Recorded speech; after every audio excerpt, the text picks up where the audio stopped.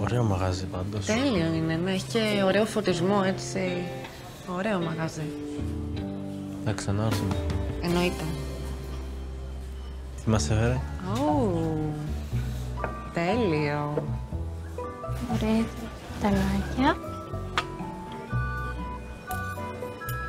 Ευχαριστούμε. απόλαυση. Ευχαριστούμε. Έλα, ε, δεν αντέχω να μην το τρώω. Είναι Ούτε και είναι εγώ. τόσο ωραίο. Δεν μπορώ να αντέξω αυτό το πειρασμό. Να δούμε τι έχει μέσα. Όπα, αυτό τι είναι; Θα φύγει. Κράτα το λίγο. Κράτα το. Εντάξει. Είναι σοκολάτα όλο. Μμμ. Εσύ μαγειρεύεις. Ασχολείσαι με τη μαγειρική; Θα μ' άρεσε.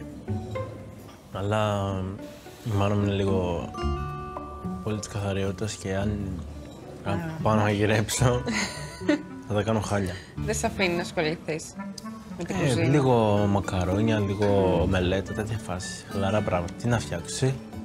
Ε, κι εγώ μου αρέσει να Εγώ πειραματίζομαι. πιστεύω τα ξέρεις όλα. Ε, ναι, τα περισσότερα. Όχι κι όλα. Κανείς δεν είναι ξερόλας.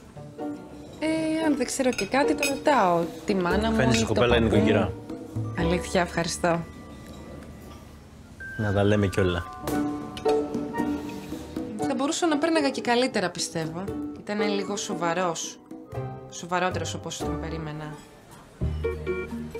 Να σα ενημερώσω ότι το ραντεβού σας έχει φτάσει στο τέλος του. Σας αφήνω εδώ το λογαριασμό. Θα πληρώσετε μαζί ξεχωριστά.